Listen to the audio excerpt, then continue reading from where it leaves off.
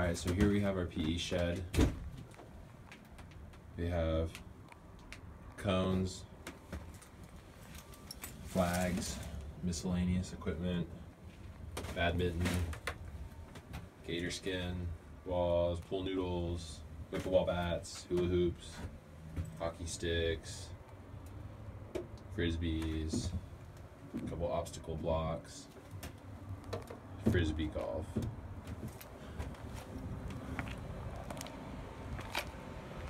That's the main PE shed over here. We have our recess shed that I can use equipment from if I need to. Plenty of basketballs in here, jump ropes that can be used for obstacles, uh, wiffle ball throwers, uh, a couple other things that kids enjoy using, and relays and other activities, hula hoops. Uh, little like blocks, ribbons. So that's about it for our equipment storage.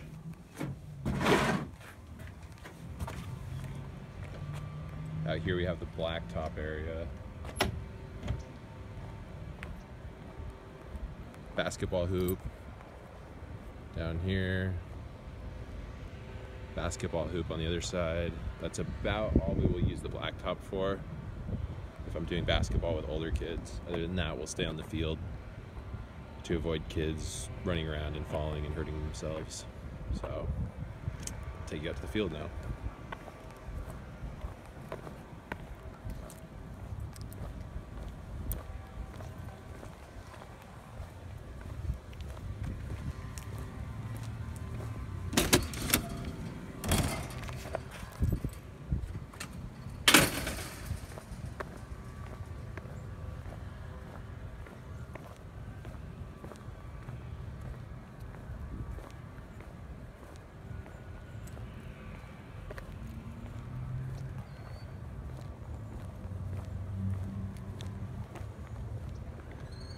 Alright, so this is where most of PE classes take place, is on our field.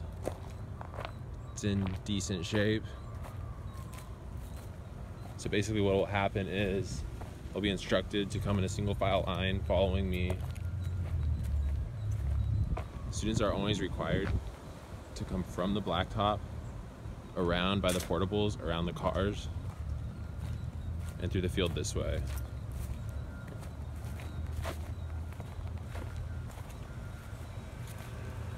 As we come in, the single file line will come down right through this little pathway. They'll come right in here, walking, staying in line. I always emphasize to stay in line until we until everybody makes it out to the field. They'll stop when they get to this cone. They'll be instructed to be in a straight line, going this way, hands to their side, shoulder to shoulder facing me. From there, I'll give them a warm-up instruction. Usually it's running two giant laps. They'll go all the way around. Usually there'll be cones set up. They'll go behind the goal, around this red cone, back to this tree. Once they've made it here for their second lap, they go grab water at our water fountain right over here. You can see it. They'll walk back, get back in the exact same line they were in. then they'll follow me I'll instruct them to go to one of four lines. So we have our red, our yellow, our green, and our purple cone.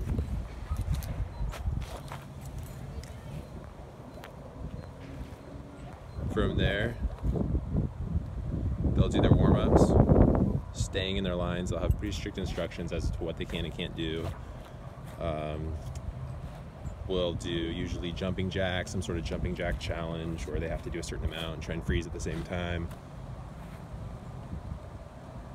Uh, stretching, fitness workout for the day, all that kind of stuff.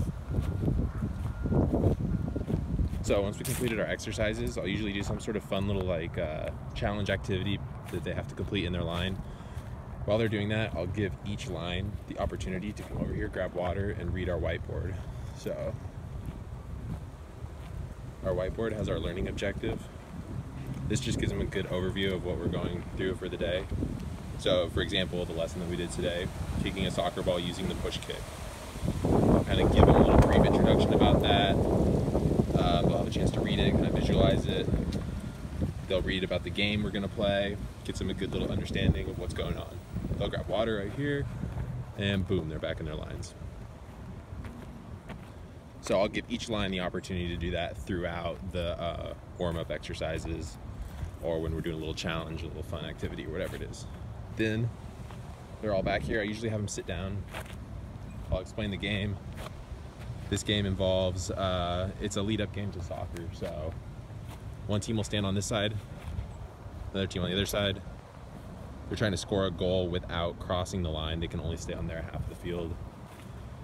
These cones represent a restricted area where they're not allowed to block balls from going in the goal. Same thing down there, same kind of idea. So this game's really fun. Third and fourth graders really like it. There's a couple safety instructions I always have to go through, uh, especially with this game. They have to keep the ball no higher than two feet off the ground. If they kick it higher than two feet, that goal will obviously not count. And if they do it twice, they have to sit out for three minutes is usually the rule that I put in. So just to avoid kids getting hit. Um, but yeah, that's basically our setup right now. And we work with what we have. Field's in decent shape, but obviously could be better. Rainy days are a little more difficult. We have to go into an inside room, but like I said, we kind of make do with what we have. So that's my setup at Wildflower Open Classroom. Thanks for listening.